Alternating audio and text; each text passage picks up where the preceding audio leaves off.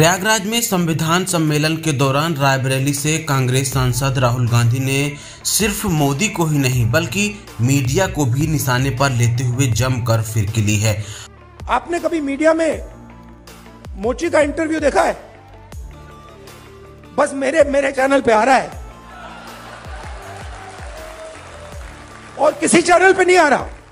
और साथ ही जिन तर्कों के साथ राहुल गांधी ने मोदी और मीडिया के धागे खोले हैं, वो काफ़ी दिलचस्प है। राहुल गांधी ने कहा, मीडिया में कभी भी मोची, बढ़ई, पेंटर और प्लम्बर जैसे लोगों को दिखाया नहीं जाता है, जो देश को बनाने में अहम भूमिका निभा रहे हैं, बल्कि उन्हीं अरबपतियों, पूंजीपतियों और मोदी और उनके मित्रों को दिखाया जाता है, जो सरकार में बड़े हिस्से पर बड़े ओहदे पर हैं। साथ ही राहुल गांधी ने कहा, हमने इंडिया गठबंधन ने चुनाव में मोदी जी के छप्पन इंच को कमज़ोर कर दिया है।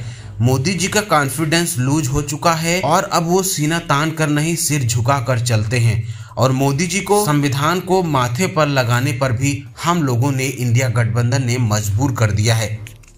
आपने देखा होगा, जो पहले नरेंद्र मोदी जी छाती फैला के आते थे। याद है आपको? यूँ आते थे, अब यूँ आते हैं।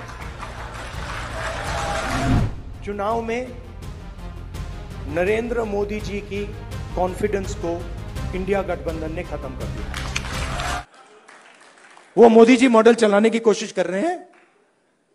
महाराजा वाला, वो शाहनशाह वाला मॉडल हमने मोदी जी को ये करवा दिया।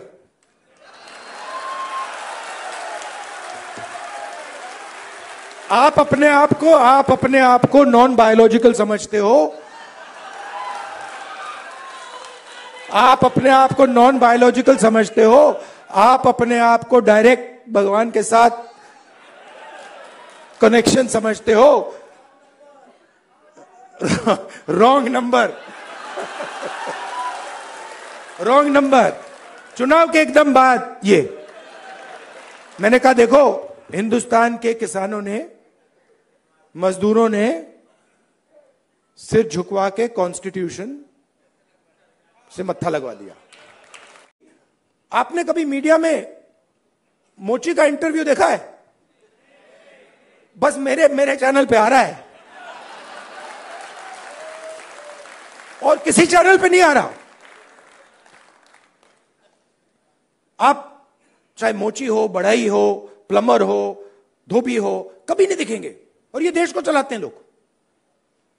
और फिर मीडिया में कहते भैया, मोदी जी गले लग गए, सुपर पावर बन गया। कभी वो यूक्रेन भागेंगे, कभी रूस भागेंगे, वो कभी गले लगेंगे, और फिर भैया सुपर पावर बन गया, सुपर पावर बन गया। मतलब कैसे बन गया? नाइन्टी परसेंट लोग मतलब शामिल ही नहीं है उसमें।